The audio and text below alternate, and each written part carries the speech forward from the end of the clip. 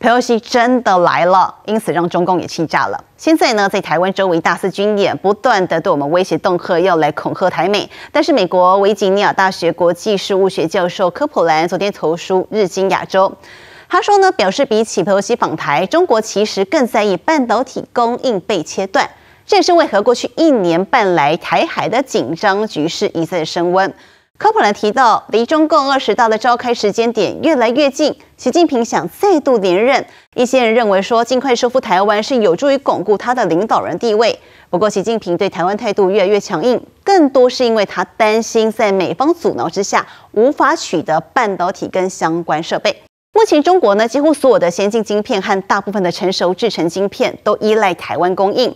美国增加对台湾的军事支持，并说服台积电等厂商要来分散生产到美日来设厂，也让北京市越来越焦虑。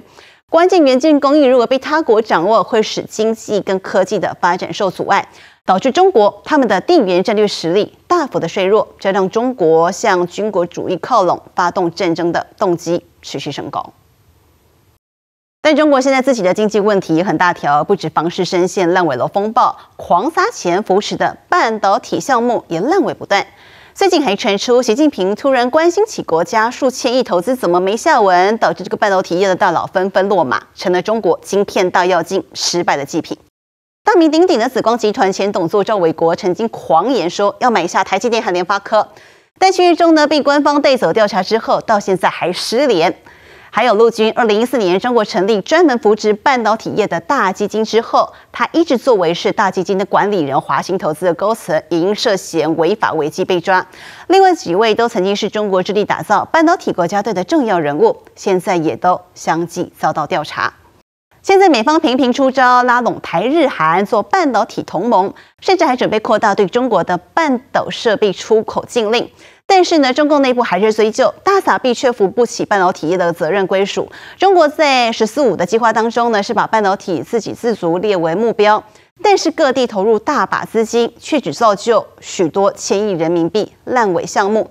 这当中包括挖角了台积电老将蒋尚义的武汉红星。那么蒋尚义离开武汉红星之后，他形容那段经历是噩梦一场。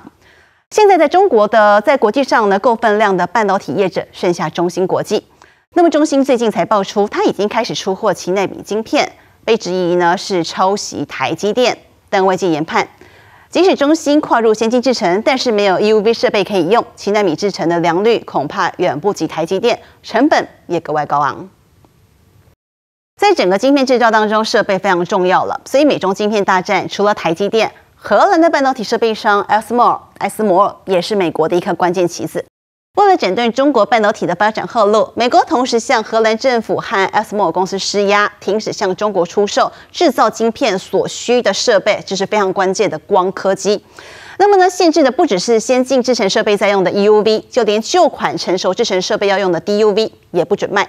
美国这一招呢，对中国半导体发展可以说是造成致命性的打击。而这家公司为什么这么重要？带你一起来透视这家企业。不管是电脑或是手机，如今你我日常生活都少不了一颗小小的晶片。而一颗效能优秀的晶片，除了得靠精良的设计及制造之外，更得仰赖尖端半导体设备。We are the only provider on the planet of this critical technology. 目前全球只有三家公司拥有半导体先进制程，那就是台积电、三星以及英特尔。而有能力制造顶尖设备的厂商，更是只有艾斯莫一家。艾斯莫成立于一九八四年，原先由跟台积电有历史渊源的荷兰百年老店飞利浦以及另一家荷兰公司 ASM 共同合资成立。尽管现在已经是半导体设备龙头，但一开始艾斯莫其实并不受到重视。原本的办公室更直接搭建在飞利浦总部外面。We were poor, and because the problems Philips had were so big. Nobody looked at this little outfit out there that was trying to do something crazy, so they neglected us.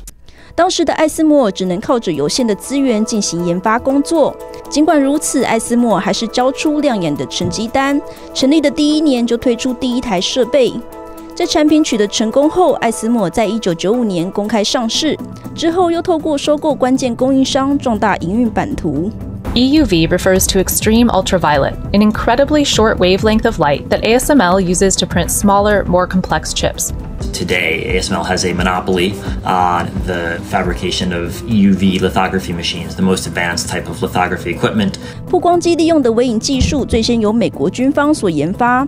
一九八零年代以前，全球主要的微影技术公司都来自美国。 然而，从技术较成熟的 DUV 深紫外线微影制成，跨到先进的 EUV 极紫外光微影制成时，多数厂商却因为风险过高而不愿投入。但艾斯摩尔却相当执着。We didn't have the money, so we went out and we found partners, which actually was the basis of the way that we built the company. EUV 设备是制造七纳米及以下晶片不可或缺的一环。如今地表上已经没有其他厂商能追上艾斯摩尔的设备技术。然而，EUV 设备的研发极度耗费资金，因此艾斯摩尔也不得不仰赖台积电、英特尔、三星等重要客户作为投资人。And we're unique to our customers, like some of our suppliers are unique to us. And those almost symbiotic relationships, some people say, are worse than being married because you cannot divorce. 另一边，EUV 设备价格高昂，只有少数晶片制造商有能力负担，这也导致了晶片制造商之间的实力差距越来越大。It certainly has eliminated a lot of players out of that market. So we saw global foundries back five years ago or more say that they weren't going to pursue a 7 nanometer chip. 虽然艾斯摩尔在半导体设备上全球领先，但零件却高度仰赖美国供应商，因此先进设备出口也得遵守美国禁令。43, 42 countries around the globe have agreed to put export control measures on it because it's so critical. So it's not our choice, it's the choice of governments. 半导体产业链复杂的共生关系，让市场上只有少数业者能成为业界顶尖，一旦落后就很难追上对手。而美中科技战下拿不到关键设备，更是成了中国半导体制造的一大痛点。经新闻陈云婷、姚旭凡报道。